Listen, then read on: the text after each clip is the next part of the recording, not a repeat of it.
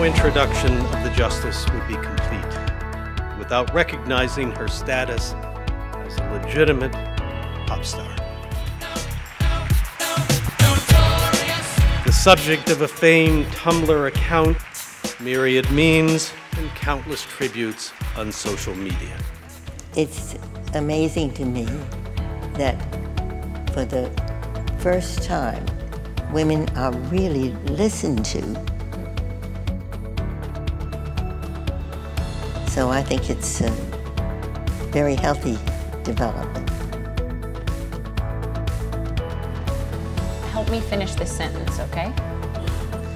There will be enough female oh. justices on the Supreme Court when there are You know what the answer is when there are nine, of course.